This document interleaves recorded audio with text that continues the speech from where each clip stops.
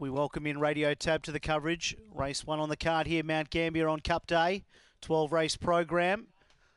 Odds on favourite, the one, Lightning Luck. Green light on. Lure in motion. We're set. Ready and racing and lightning luck flew the lids. It got out to a clear leader. School report coming across. They got two ahead of our menace. Then back in fourth was rooster followed by flame and rose. Three and a half Taragal at the rear. Taking over down the back was school report sweeping up around them our menace. Then came rooster lightning luck is battling. Then flame and rose they turn. In front rooster going with it school report. Rooster rooster beats school report not sure for third. Either our menace or lightning luck then came Flame and Rose, and at the rear was Tarragao. That was a good little race here in the first. Roosters got up to score, defeating the seven school report, who was pretty brave, did try to kick back. I think maybe the sixes defeated the one for third, but don't hold me to that.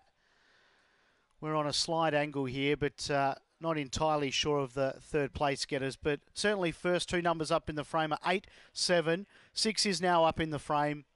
So it'll be 8, 7, 6, 1, 8, 7, 6, 1 here in the first. Time was 23.79.